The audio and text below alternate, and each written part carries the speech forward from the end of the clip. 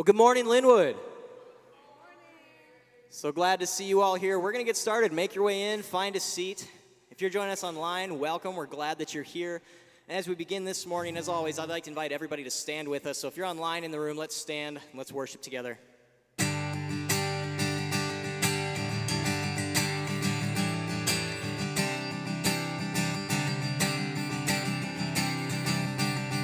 He's coming on the clouds.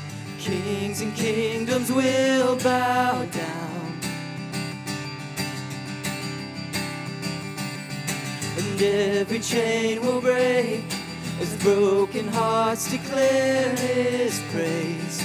But who can stop the Lord Almighty?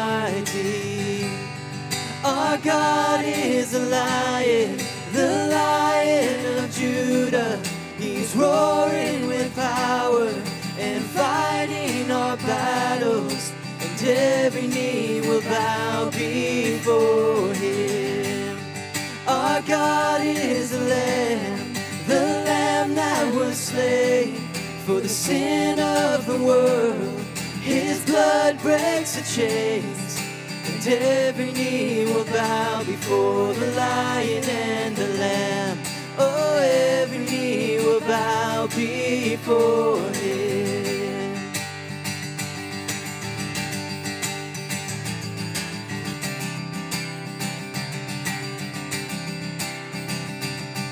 So open up the gates, make way before the King of Kings.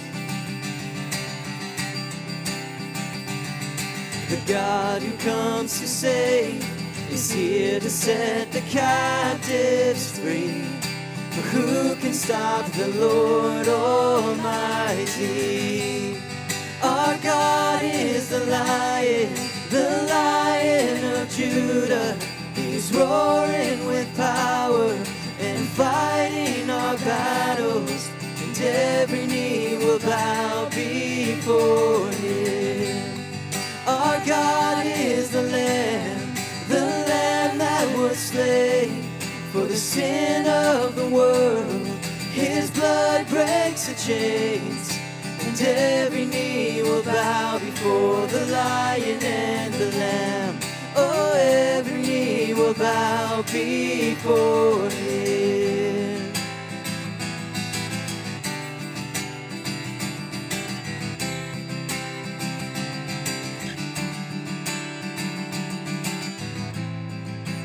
Who can stop the Lord Almighty? Who can stop the Lord Almighty? Who can stop the Lord Almighty? Stop the Lord Almighty? Who can stop the Lord Almighty?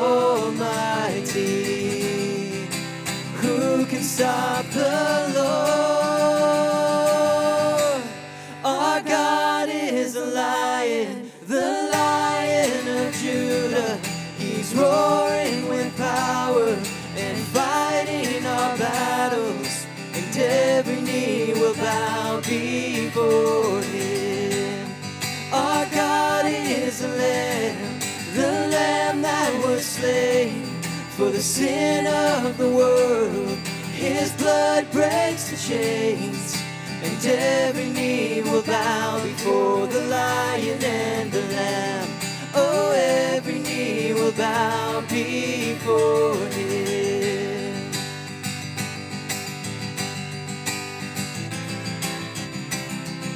And every knee will bow before the lion and the lamb.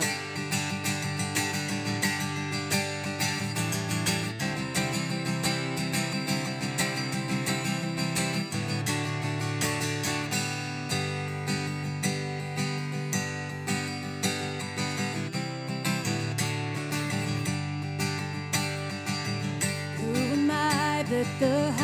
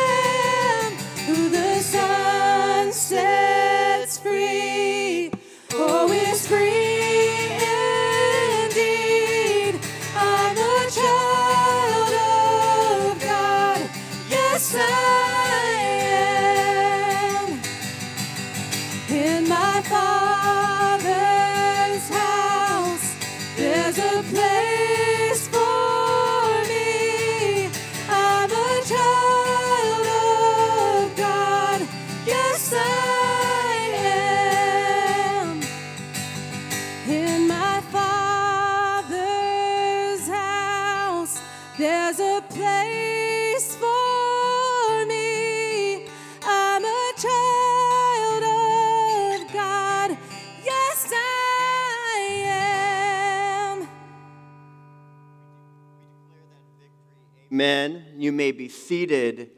Good morning, family of families. I'm so glad that you've joined us. And for those online as well, good morning to you.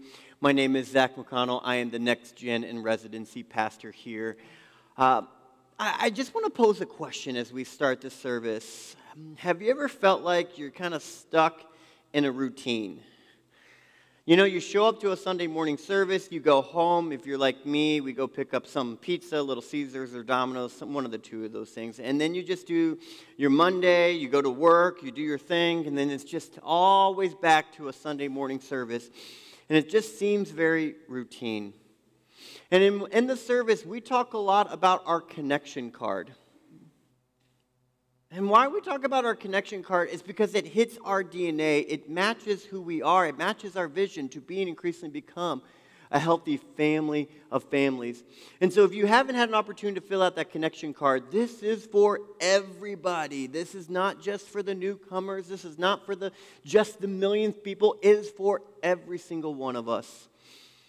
So if you take an opportunity, fill out that connection card. But I want to turn our attentions in this moment here to Acts chapter 2. This morning, we're going to be participating in communion. So that's a note for those online. If you haven't grabbed your elements yet, go ahead and grab your elements. Hold onto them because we'll participate together. I posed that question about routine for a specific reason. There's sometimes when we go through faith or go through life, we find ourselves in a spiritual rut. But in Acts chapter 2, something powerful took place. Something we can't really explain, only because it's the act of God Himself. The Holy Spirit descends upon the group. And when we participate in communion, this is something that holds attention. It requires us to focus in a little bit more. It's so easy to fall into the routine of participating in communion, but this is our opportunity to engage in it. Here at Linwood Wesleyan Church, we believe that we have an open communion table. All, uh, you don't need to have your name on a membership list. You don't need to be coming here X amount of time. We only have one requirement that you've accepted Jesus Christ as your Lord and Savior. And if that is you, the table is open. In a moment, I'm going to ask you to come forward. You're going to grab your elements, and I want you to hold on to your elements. And for those in this middle section, you can come down the middle aisle. For those in this section, you can go down this aisle. And for, the, for this section over here, come down this aisle. Anything's too confusing, just get to the table. I promise you, if you pick the wrong table, it's all the right tables. Just get to the table, grab your elements, and hold on to them. But as you're grabbing onto the elements, be reminded of the why behind the bread. Be reminded of the why behind the cup, for we will participate together. Holy Spirit, when we engage in communion, it is an opportunity and a responsibility that we hold very dearly.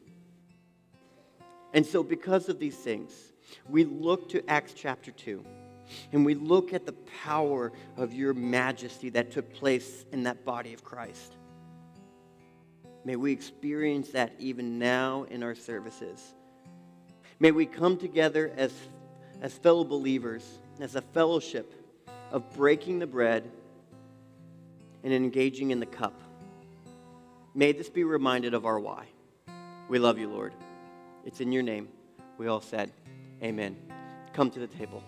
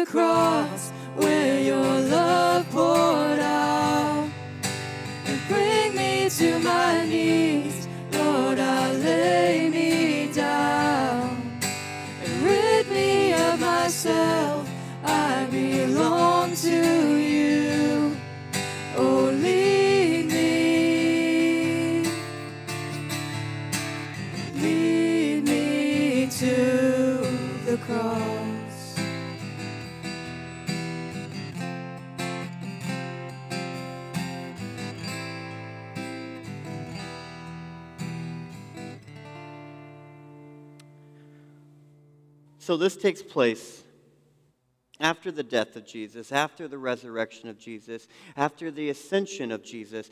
They were asked this question what do we do now? And then moments later, the Holy Spirit descends upon a group of people. But I want to lean a little bit more on verse 42. They devoted themselves to the apostles' teaching and to the fellowship, and to breaking of bread and to prayer. Everyone was filled in awe, and the many wonders and miraculous signs were done by the apostles. All the believers were together and had everything in common. Selling their possessions and goods, they gave to anyone who had a need. Every day they continued to meet together in the temple courts. They broke bread in their homes and ate together with glad and sincere hearts, praising God and enjoying the favor of all the people. And the Lord added to the number daily of those who were being saved. Family of families, the elements that we hold before us isn't just simply a, a ritual we run through, but an opportunity to be interceded. Because on the night that Jesus was betrayed, he took the bread and he broke it. And he said, Take and eat, for this is my body broken for you. Do this in remembrance of me.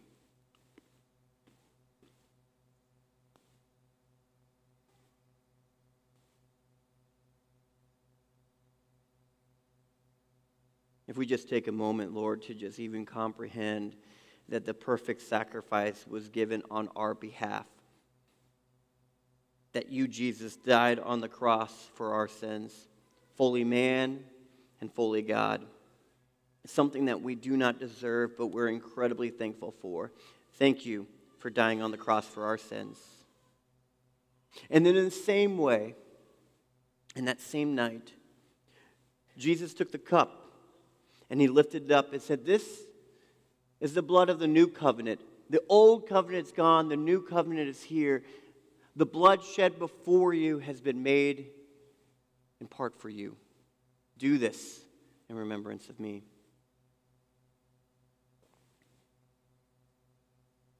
Lord, we're thankful for your words. We're thankful for your truths. And we're thankful that we can continue to be interceded and so, because of these things, as we partake in communion, as we continue to engage in worship, whether that's through song or through breaking in the word, that we stay engaged with you. We break the routine and we say yes to you, Lord. We say yes to the worship. We say yes to submission. We say yes to you guiding us every single day. We love you. It's in your name. We all said, Amen.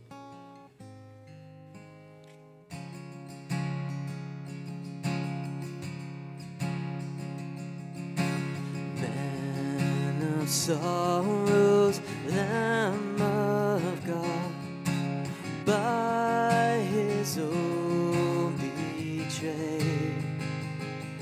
The sin of man and wrath of God has been on Jesus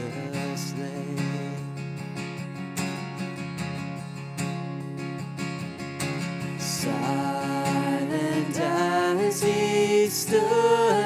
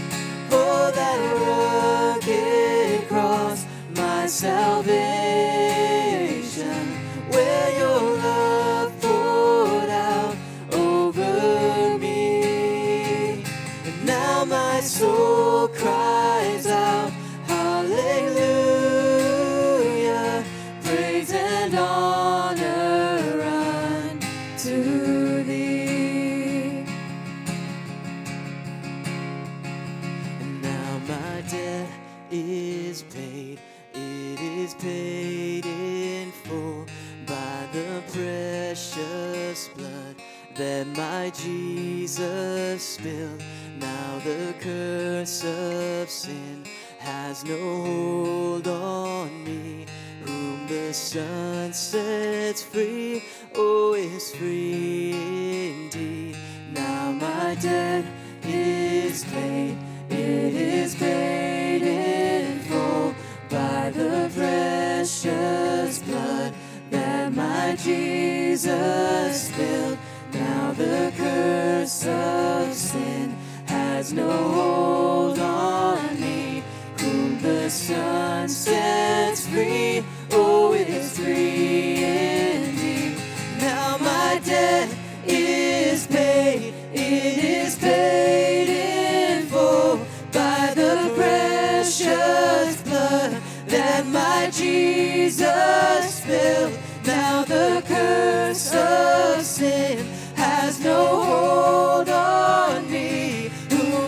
Whom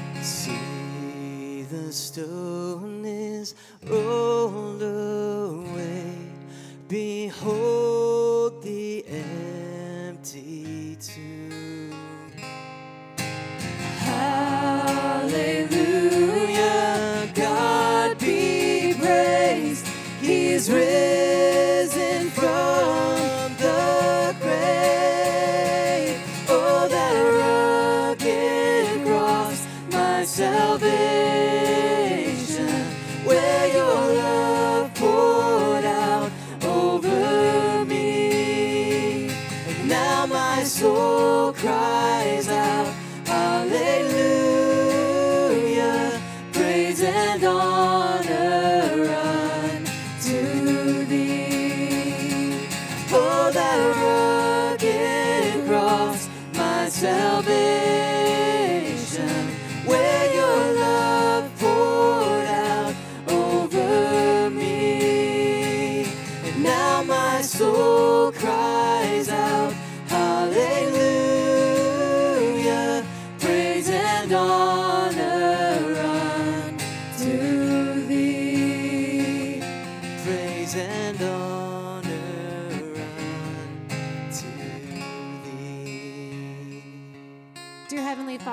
praise you this morning. We worship you with all that we are and with all that we have, God. I pray that you open up our hearts to receive your message, Lord. I pray that we take it to heart and we make your path for us actionable, God. That we trust in what you have in store for us, that your plan for us is all good and the best possible way for us, God. We love you so much and we worship you in your most precious name. You may be seated.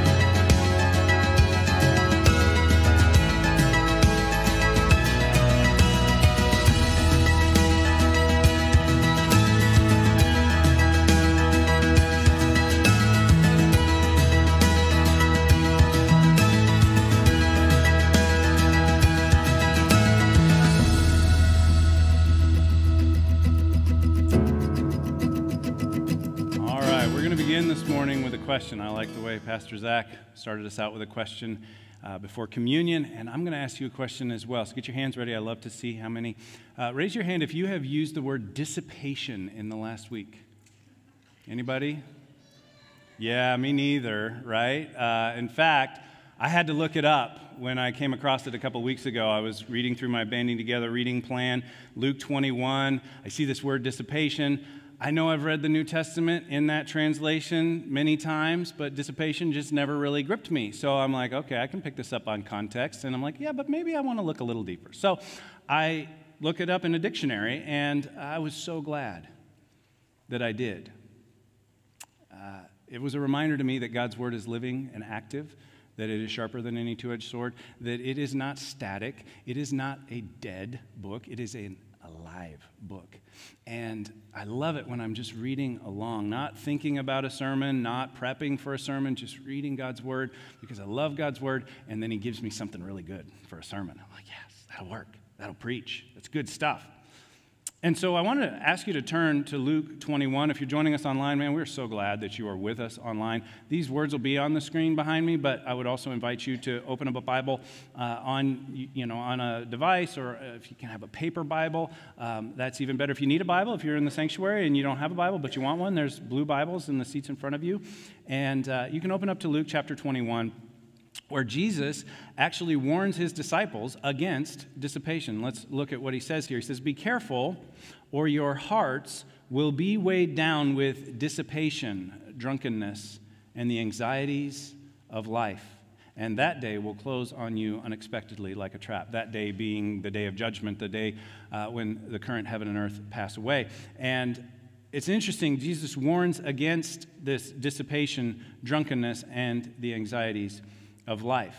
And so you can pick up a lot by context, but when I looked up the word, I found some interesting things. That this idea of dissipation, and the Greek word that is translated as dissipation, uh, means to be dispersed and diluted. Uh, maybe you've seen The Lord of the Rings when Bilbo says he's starting to feel a little thin, like too little butter over too much bread. He's feeling dissipated okay? He didn't say it that way, but that's how he's feeling. Anybody feel a little stretched, a little thin, like too little butter over too much bread? It also means being wasteful or intemperate, self indulgent. You kind of put all that together. You add to it the drunkenness and the anxieties of life. And this idea, this word picture of fragmentation came to mind. Don't let your hearts be weighed down by being fragmented, pulled in all these different directions.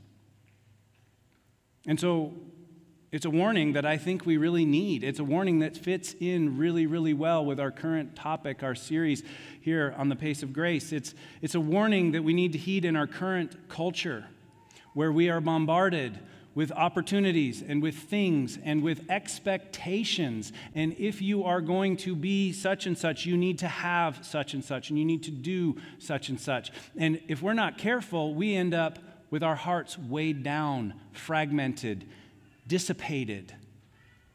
And the anxieties of life can be overwhelming. And I'm not just talking about stuff or materialism, I think that's very much in view. But there's also the activities and the commitments and the things that we pursue as a lifestyle. Now, Christian speaker and author Alan Fadling has said that the drive to possess is an engine for hurry. Think about that for a minute. As we think about walking at the pace of grace, as we think about ruthlessly eliminating hurry from our lives, this is a very poignant perspective that the drive to possess, not just stuff, sometimes it's stuff, but maybe it's a lifestyle. Maybe it's the drive to possess a lifestyle, a standard of living, a certain opinion that others would have of us. We want to possess that. We want that for ourselves. This is an engine for hurry. It's something that produces or adds or accelerates hurry in our lives. And so, a good question would be what do I want right now, and how hard am I willing to work for it? And maybe it's a thing. Maybe it's a newer car or a bigger house or the new technology. I thought it was an iPhone 14. My kids corrected me. No, it's an iPhone 15 now, Dad. And I was like, I'm really glad I don't know that. That, that tells me I'm doing something right because I used to know and I used to want. Rolling with this 10 as long as it'll go. But how much are you willing to trade for that? How much of your life are you willing to give to that? And this is easy if you're working. You just figure out your hourly wage and you say, okay, my hourly wage is $20 an hour, just for easy math, because we all like easy math, right? And if an iPhone 15 costs $1,200, it might be more, I don't know, but you just do the math. You say, okay, am I willing to give 60 hours of my life to buy that thing? And if you're going to subscribe to something, this gets even more. If you're going to buy a car that has a $600 a month payment, and you say, Am I going to give 30 hours a month of my life for that car? This is a really important and good question to ask if we're in that season of life. If you're retired, you might be looking at a major purchase and you could do the math and say, How many years of my working life is that thing going to cost me? And just do the math. It's, it's worth doing, even if you go and buy it it's worth doing the exercise and to be aware and not just thinking about money or time, but say, how much hurry is that going to add to my life? Now, I'm not against enjoying possessions and experiences, and I don't think Jesus is either. But I do think it behooves us to ask the question and to consider how, how much am I really going to enjoy that? Because trillions of dollars are spent to make you dissatisfied with the thing you just worked and saved to own so because they want you to own something else. Or the place you just went on vacation they want you to go somewhere else. Like all this money is being spent and so often we don't even enjoy the thing that we were so set on for very long because something else comes along. And do we really count the cost? Not just the money but the time and the hurry. And all of this kind of combines this warning of Jesus to show us there's really a lot to be said for intentionally choosing simplicity. Simplicity. That's what we're talking about today. We're in a series titled The Pace of Grace. We're almost done with this. Some of you can't wait for this series to be over. It's like, man, you're really poking the bruises, Pastor. I'm tired of you stepping on my toes. Um, and some of you are like, man, this has been really good. This has caused me to reflect, to make some changes, to adjust my schedule or my mindset on some things. It started as sort of a progressive series. So if you're joining us late, I would really encourage you to go to our YouTube page, go to our Facebook page, go to our podcast, our Church Center app. There's all kinds of ways for you to get this content, but listen to those earlier messages where we talk about the problem of hurry. We talk about the solution that Jesus offers. In these last couple of weeks, we've really been focusing on four key disciplines that we can observe in Jesus' life that help us to unhurry, help us to move at the pace of grace. Grace has a pace, love has a pace, and it is not a hurried pace. So, a couple weeks ago, we looked at silence and solitude and reflected on this idea that without solitude, it's virtually impossible to live a spiritual life. You can live a fleshly life without solitude, but you can't live a spiritual life with God, in communion and fellowship with Him and with Jesus, without solitude. Last week, we looked at the Sabbath, and we focused on Jesus' words that the man was not made for the Sabbath, the Sabbath was made for man. It's a gift God wants us to have. It's a gift that he wanted his people to have after they had spent generations in Egypt as human machinery. That's what Pharaoh's idea for them was. And God says, I've got a different idea. I'm over Pharaoh. I'm above him, and I have a different way that I want you to live and move and have your being in this world, and it involves rest. So I have a gift for you. It's a Sabbath. Not one day a year, not one day a month, one day a week. You get to have a birthday every week. That's what God is saying. It's give life to you. It's something you should look forward to. Plan ahead. Carve out time for rest, for worship, for a subtle resistance to Pharaoh's ways.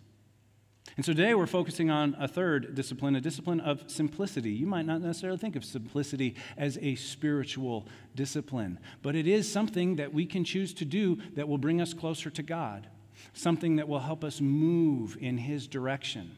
And that's what spiritual disciplines are. And maybe you noticed that the worship set was even a little bit more simple today. That was intentional.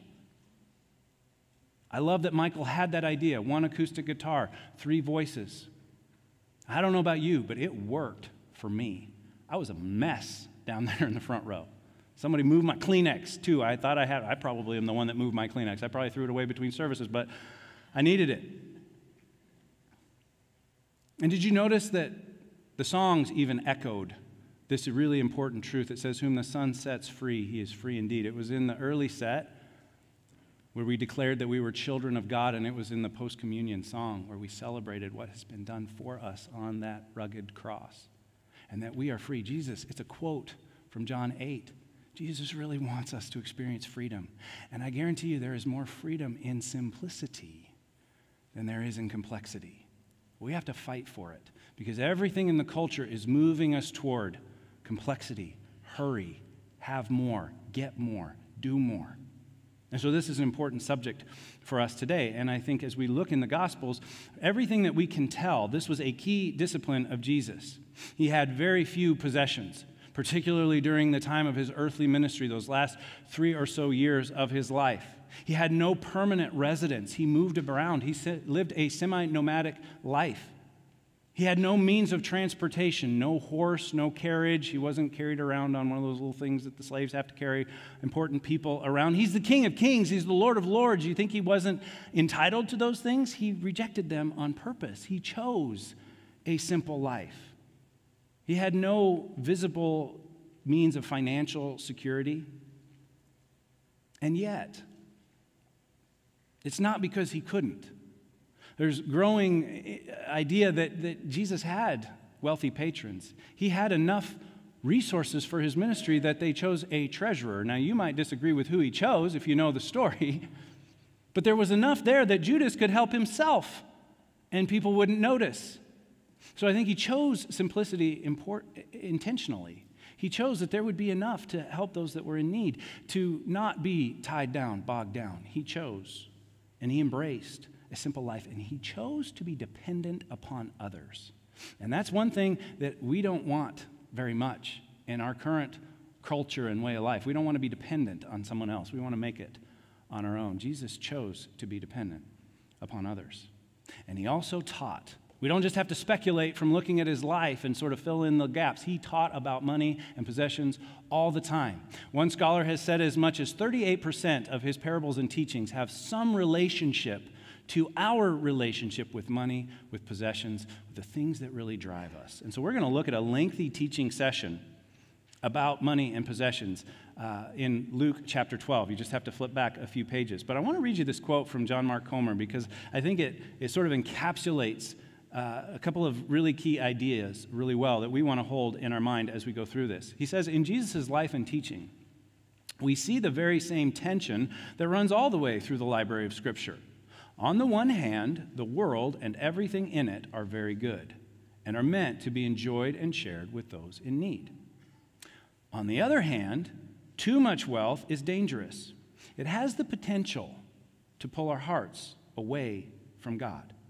And when that happens, our greedy, off kilter hearts wreak havoc, not only on our own lives, sabotaging our own happiness, but more importantly, on others' lives, widening the gap between rich and poor. What he's saying is that when we are focused on a get more for me, have it my way, get more, accumulate, accumulate, accumulate, then we're less willing to share with those who are in need, who do not have as much. We might even take advantage of them, intentionally or unintentionally, consciously or unconsciously. And that is a stark contrast from the words that Pastor Zach read from Acts chapter 2, another fun little Holy Spirit connection there. They sold their possessions and gave to any as he had need. And that's not just a sidelight in Acts. It was so important to Luke, this community, that he mentions that multiple times as he goes through the early chapters. And he gives specific examples of how people did that in order to meet the needs that they had. So we're going to look at Luke chapter 12. These are pretty much all red letter words that we're looking at today. These are directly from the mouth of Jesus. You want to know what Jesus thinks about these things? Luke chapter 12 is a really good place to look. It's a lengthy teaching section on money and possessions, and it begins with a question. As is often the case with Jesus, people asked him questions, and he usually responded with a question and then some teaching or some context. And so in this case, in Luke chapter 12, starting with verse 13, someone in the crowd said to him, Teacher, tell my brother to divide the inheritance with me. Jesus replied, Man, who am I? Who appointed me a judge or arbiter between you? Now, I always read that and I'm like, Man, who appointed me? I, that's the way I read it. I don't think Jesus said it that way. I think he was a little more dignified. Man, who appointed me judge or arbiter between you? Now they're leveraging Jesus' authority. And his response tells us a lot about the context. Because he had divine insight into why this person was asking this question. Because then he said to them, to everyone listening, Watch out. Be on your guard against all kinds of greed. A man's life does not consist in the abundance of his possessions. So his response gives insight into the question behind the question or the issue behind the issue. Now, for just a little bit of context, the Old Testament uh, way that wealth was transferred from one generation to another was that it would go to the male sons, the sons of, of the generation would go to the next generation, and the firstborn male would get a double portion. And so, by speculation, there's at least two brothers here, and the one is saying, Tell that one that got a double share to, to share it evenly. Tell him to be generous, Jesus. Isn't that what you've been teaching all along? And Jesus knows the insight that greed is really what's at work here. And he says, Watch out. Be on your guard.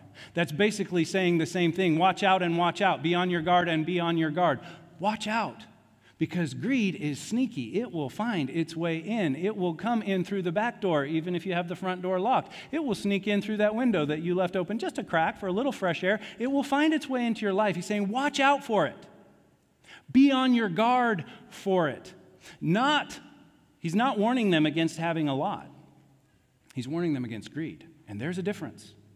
Because you can have a lot and not be greedy, and you can have nothing and not be greedy. Or you can have a lot and be very greedy, or you can have very little and be very greedy.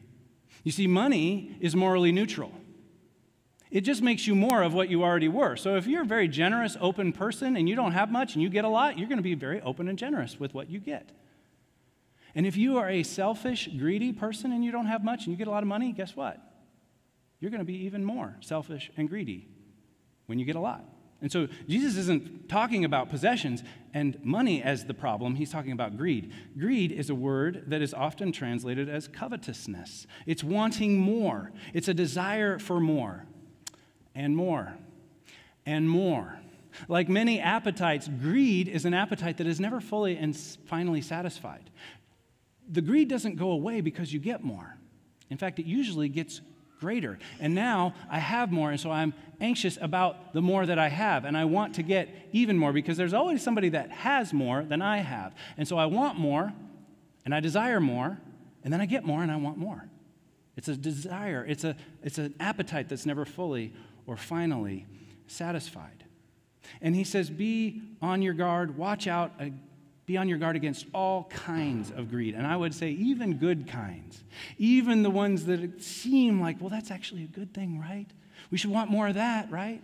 He's saying, if it's more than you need, then be on your guard against greed, against coveting what other people have when you already have enough, against wanting your brother's share of the inheritance, right, wrong, or indifferent. Now, the next few verses, next six verses, verse 16 through 21, he tells a parable. He tells a story. He often did this to illustrate a point. We're not going to look at the parable in great detail, but it really drives this point home. It's the parable of the rich fool, this guy who has a really good harvest, and it's more than he can hold. And so instead of giving the excess away, being generous, helping the poor, giving to God and to his ministry, he says, let's tear down all the barns we have and let's build bigger barns, and then we'll be set for life. And he doesn't know that his life is going to be taken from him that very night. And Jesus concludes by saying that's what it is to not be rich toward God. That we're to be rich toward God first and foremost. And then I want to look at verse 22 and 23 together because we're told then Jesus said to his disciples, and it's a therefore. You know what you're supposed to do with the therefores, right? You circle them and you look at what was just said. And you ask, why was the therefore? What's the therefore, therefore? What is it telling me? Jesus is making the application clear. He says, Therefore, I tell you, do not worry about your life, what you will eat, or about your body, what you will wear. Life is more than food, and the body is more than clothes. And he's connecting greed and worry and the accumulation and being really preoccupied with that. That's what worry means to be preoccupied with. Don't worry about your life. Don't worry about even these basic necessities. Don't worry about it. He's connecting money and greed with anxiety. He's saying life is so much more than food or clothes. It's so much more than the necessities, and therefore it's so much more than all the other stuff, too. I think he starts with the necessities on purpose. These are not luxury items.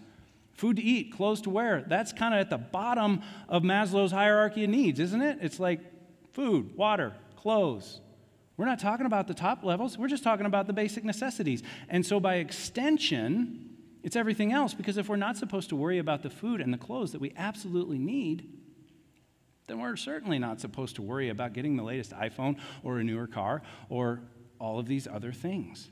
He gives a couple of examples about the birds that they don't really worry about their food. The Heavenly Father knows they need food, so they eat. They don't. Then he looks at the lilies. Says they didn't do anything to make themselves beautiful. The Heavenly Father clothed them in beauty. And so, if we're not supposed to worry about those things, then we're certainly not to worry about other things. That's where the dissipation comes in. That's where the fragmentation comes in. That's where the drunkenness, the excess, the anxieties of life come in. Especially if these things are beyond our current means, because that's when we start scheming, isn't it? It's like, I can't afford that, but I really want that. So, how am I going to get that? And we start that game. And maybe we take on debt, which there are a lot of scriptural warnings against debt. Or we work longer hours, we overwork, or we take a job or a promotion that we don't really want into a position that we don't really want that has demands on our time or sends us on travel that we don't really want to do in order to have a lifestyle, in order to possess something. Or we just become more selfish and we say, well, I really want that thing. Church just sent me my giving statement for the year. If I just dialed that down just a little bit, I could afford this thing, and as soon as I have that, then I'll turn it back up, right? And we can play those games that we weren't meant to play, and Jesus is warning us strongly against those. And so, after he gives us a couple of examples in verse 29 through 31, he says, Do not set your heart on what you will eat or drink. Do not worry about it. That's the second time he's told us not to worry in this passage. For the pagan world runs after such things, and your Father knows that you need them. You know what that word Father is translated as the Hebrew word Abba. It means source and sustainer. This verse is really important when you, when you read and you substitute Father with your source and sustainer. Listen to what it says here. It says, Your source and sustainer knows that you need them. Your source, your sustainer, he knows. Why are you going to worry about something that your source and your sustainer knows that you need? And then he says, Seek his kingdom. And these things will be given to you as well. He says, Don't set your heart on it. God knows you need it. Seek Him first.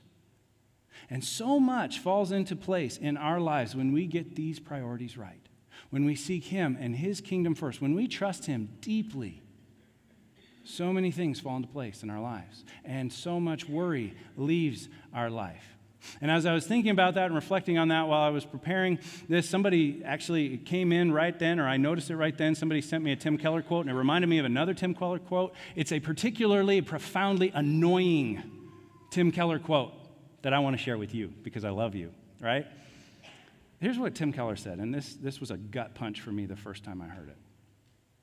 For most of us, God hasn't become our happiness.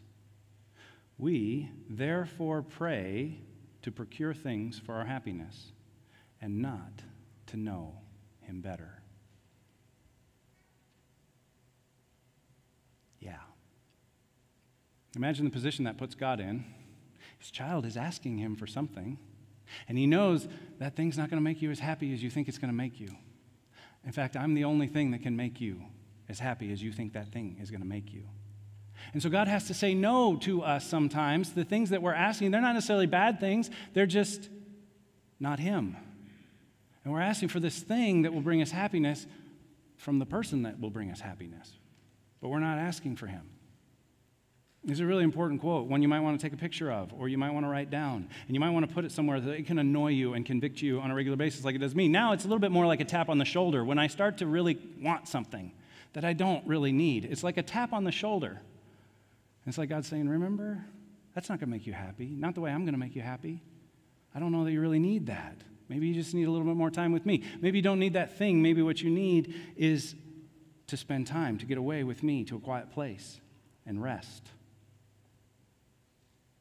And I love the way he chooses to close, close this section. Verses 32 through 34. Jesus says, Do not be afraid, little flock. That's number three. Three times in this section, he tells them, Do not be afraid. Do not be afraid, little flock, for your Father, your source and sustainer, has been pleased to give you the kingdom. He just told them to seek it. And now he says it's his pleasure, his good pleasure to give it to you. Go ahead, sell your possessions, give to the poor, provide purses for yourselves that will not wear out, a treasure in heaven that will not be exhausted, where no thief comes near, no moth destroys, no economic downturn eliminates. For where your treasure is, there your heart will be also. I wonder if it breaks God's heart when we don't really seem to want the kingdom that it is His good pleasure to give to us. Now, keep in mind, kingdom there is not a political kingdom, it's the order and authority. He's saying, seek first the rule and reign of God in your life, and all this other stuff is going to be added to you. It's His good pleasure to give you the kingdom. What could we possibly want that's better than the kingdom? And when we desire it, when we seek it, when we go after it full bore, He wants us to have it. He gives it to us because He wants us to be free. He wants us to experience His freedom. And He wants our heart to be with Him. He wants our hearts. And that's why Jesus says, Where your treasure is, there your heart will be also. And so I wonder are our hearts light and free in heaven? Or are they weighed down with dissipation here on earth? And all of this brings us to simplicity. Don't worry, we're not at the halfway point okay? We're coming down the home stretch. John Mark Comer poses the question at the transition point in the chapter on simplicity. He says, You know, here's a crazy idea. What if Jesus was right? and I love the question because sometimes we're reading and we're like, well, that might have been good for you, Jesus, or that might have been good 2,000 years ago, or that might have been good in this other season or time in the world. But what if he was right like all the time? What if he was right for you? What if he was right for me? What if Jesus was right? What if simplicity, choosing less over more, really was the best way? Really is the best way? What if it really is for us? Now, simplicity simply means choosing less over more, choosing less stuff, fewer activities, fewer commitments over more stuff, community activities, commitments. Recently, it's sort of been confused with a designer style. I don't think that's what we're talking about. That's not what we're talking about, is what you would see on HGTV. And this is a modern simplicity style, or feng shui, or some other idea that is sort of has the guise of simplicity. It's meant to help you relax and enjoy simplicity, and, and it shows that it can be aesthetically pleasing. That simplicity doesn't mean insignificance either. Like sometimes, if it's a simple message, it has one point that drives home differently than a complex message. Do you see what I'm saying? So sometimes simplicity is actually more profound and more powerful. It doesn't mean poverty or destitution, and it doesn't mean endless organization. Sometimes simplicity starts to look like, well, what if all the bins were white and they matched, and the shelf was just full of bins, and so you couldn't see any of the stuff? That would be simplicity. Well, you could go spend a couple grand chasing simplicity, and you still got all the stuff to manage. So it's, it's not that, it's choosing less over more. And it's interesting that poor people don't call it simple living, do they? They just call it living. they didn't choose simplicity, they didn't have another option. So there is some idea that there, there's an option, you have to choose, but when you choose less over more, you're choosing simplicity, and that can be a spiritual discipline that brings us closer to the heart of God. And it's interesting when you think about this that poor people just call it living. Every time I've been on a mission trip with people, every time I've talked to people that came back from a mission trip where they were around impoverished people, and I'm not just talking about like American poor, I'm talking about like poor, poor, less than $2 a day poor, nothing poor. And they always comment on, man, they got nothing but joy. They got all the joy in the world. They're so happy. They're so light. They don't know where their next meal is coming from, but they are so joyful. I remember we took uh, tennis balls on a trip to Nicaragua. We took used tennis balls. Somebody worked at a, at a gym where they had tennis. And, you know, apparently when you use a tennis ball for a while, you got to get rid of it. They were going to throw away all these tennis balls. We took them down there. We gave used tennis balls to kids that had nothing, and they were as excited as they had ever been. They couldn't believe that they had their own tennis ball. They didn't have to share. It was amazing. And so simplicity is choosing less over more. It's similar to minimalism, but minimalism can start to become an end in itself. Like, I want to get less and less and less for the purpose of having less and less and less. Simplicity is a spiritual discipline that is designed to be a means to an end. Like all the disciplines, it's a means to an end. It's a practice that brings us closer to the heart of God. It's only helpful if it's bringing us closer to the heart of God. And so you might say, Well, I don't really want to do simplicity. I'll come back next week. Maybe I'll like that one better. No, like experiment with this, play with this, pray with about this. Like, what would it look like for me to choose less over more? And recognize you don't have to get there all at once. Do what you can until you can do what you couldn't. Do what you can that helps you to be more close to God, more focused on Him, more available to Him and His purpose for your life, because so often the complexity of life pulls us away from Him and pulls us away from His purpose for our life.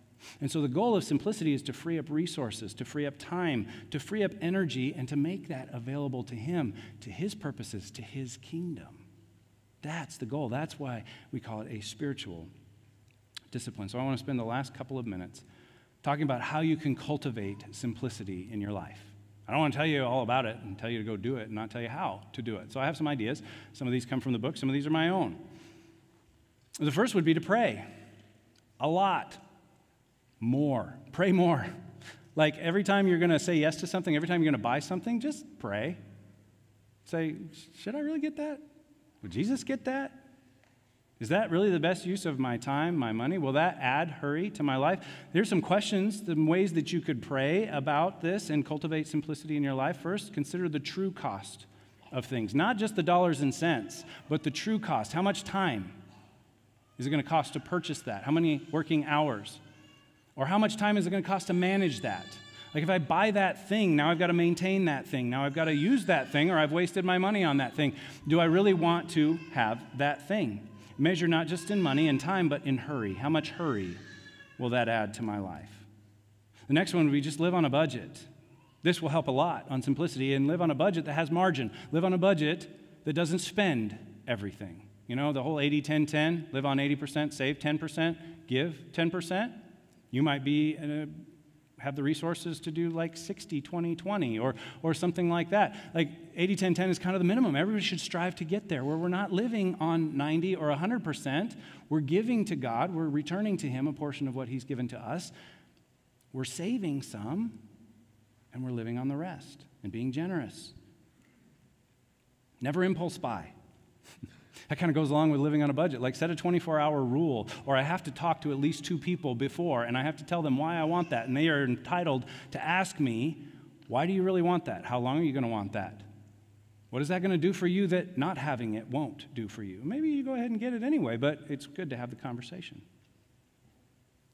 Share, rent, and borrow whenever you can. Like, really? I know we don't want to be dependent on other people. That's kind of the American way, is that you have your own. But I had to make a kind of a quick road trip, longer than I expected, um, that I hadn't been planning on. And I had about 1,600 miles on the road in the course of two days.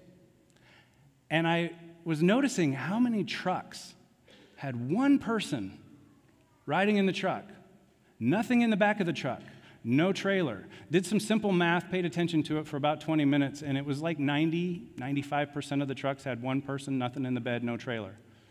And I'm not picking on truck owners. Like, I want a truck. I even told my whole church that I wanted a Toyota Tundra and I didn't get one for Christmas. That's okay. I don't need a Toyota Tundra. I really don't. I didn't pray for it. I just threw it out there. Right? But what am I going to do with the Toyota Tundra? I'm going to drive it just like I drive my Toyota Camry, back and forth on 57th Street from house to church, house to church, house to church. Maybe three times a year I need a truck. I can borrow one. I know people that have one. Don't use it very often.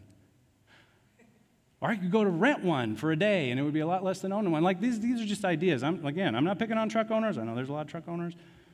Enjoy your truck. I might need to borrow your truck someday. Next thing you could do is give stuff away. Give a lot of stuff away. We have so much stuff. Imagine you had to move right now. Like you found out you got to move in two weeks.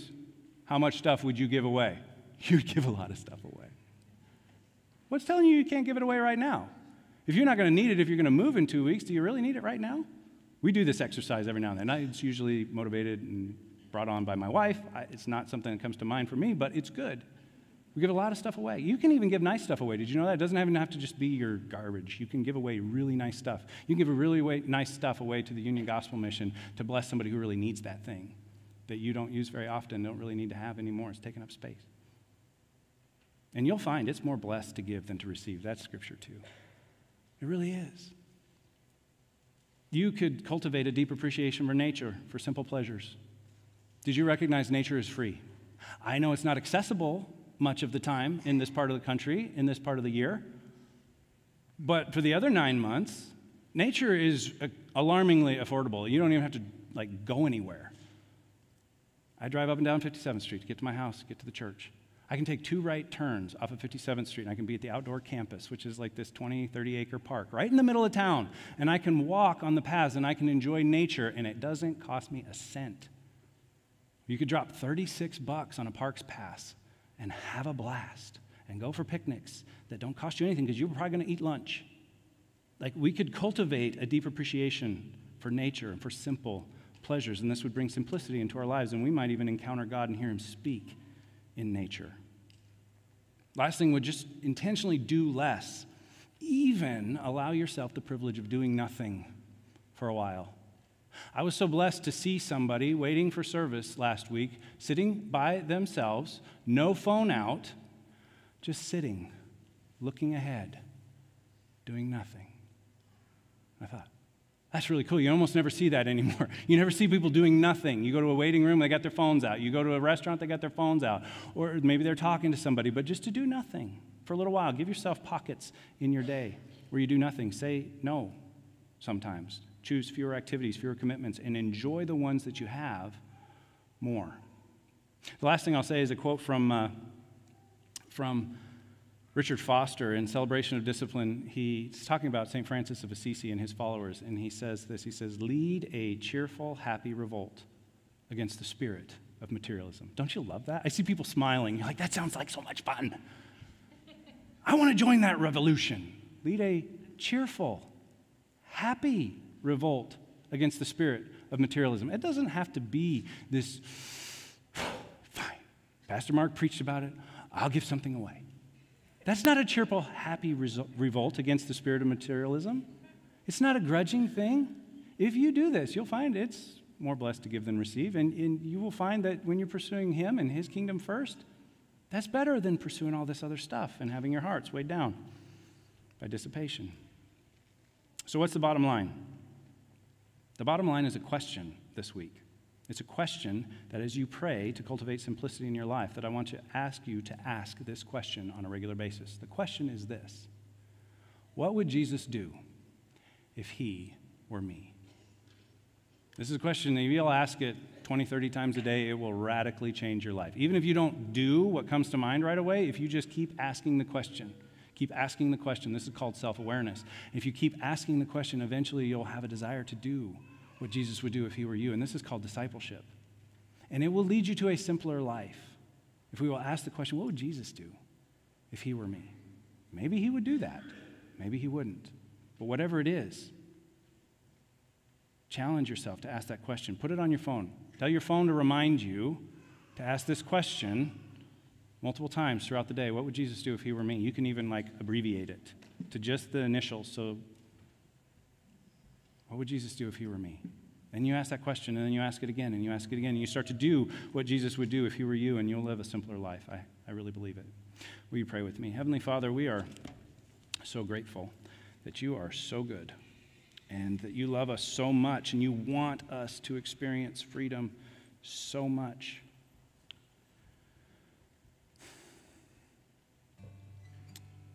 And we're reminded, Lord, that our freedom cost you greatly. That it mattered that much. That you were willing to literally lay down your lives for us, to experience the freedom that you want us to have. You came that we would have life, that it would be a rich and satisfying life, not a life where our hearts are weighed down, fragmented, filled with the anxieties. Help us to choose you over that. Help us to remember the cost the price that you paid for our freedom, and to choose to live in deeper communion and fellowship with you, and to choose simplicity as a means to a deeper walk with you, a closer walk with you. We love you, Lord. It's in Jesus' name we pray. Amen. Would you stand with us as we respond?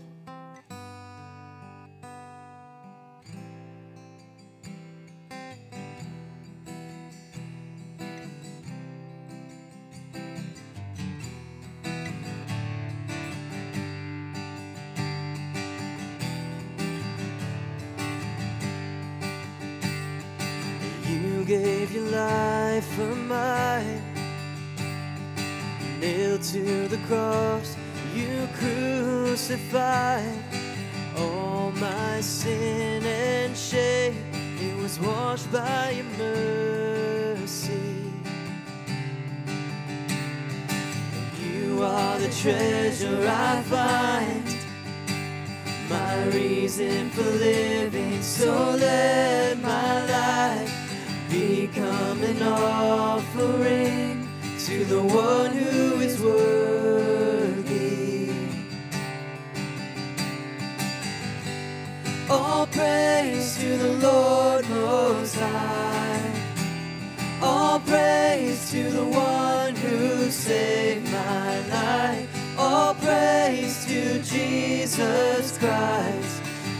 King of heaven, my King forever.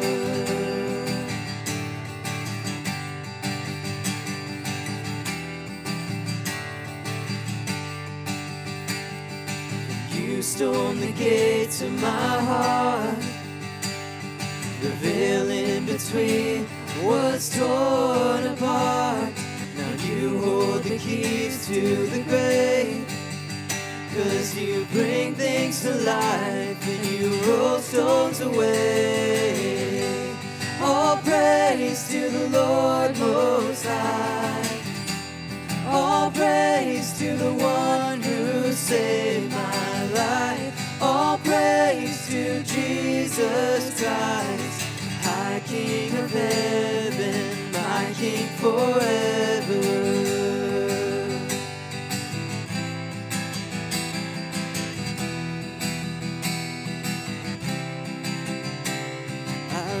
My hands up, lay my whole life down, my whole life down before you.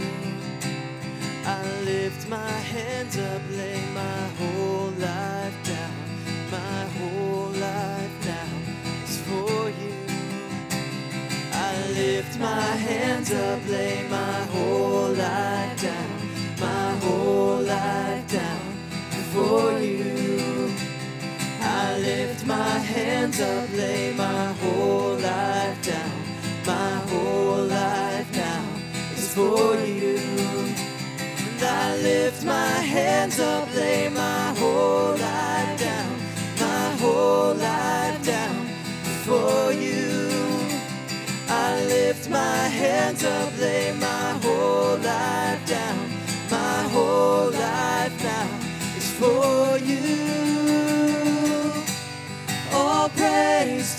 Lord Most High. All praise to the one who saved my life. All praise to Jesus Christ, High King of heaven, my King forever. All praise to the Lord Most High. All praise to the one who saved Jesus Christ, High King of heaven, my King forever.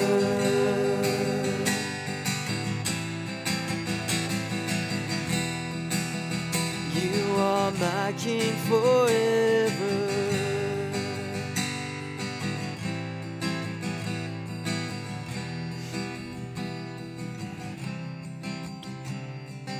I want to invite you, especially if you didn't raise your hands up, but you kind of wanted to, as we were singing that bridge.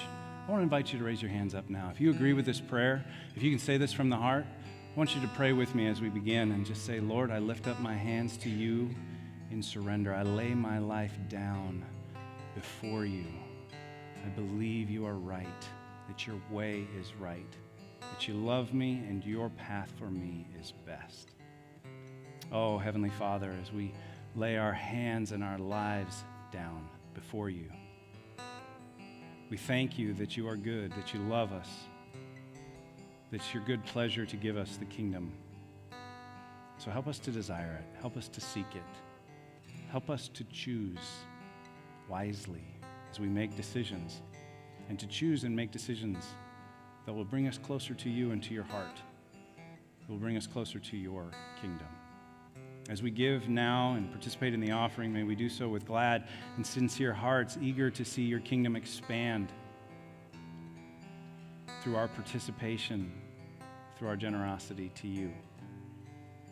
It's in Jesus' name we pray. Amen. You may be seated. Thank you.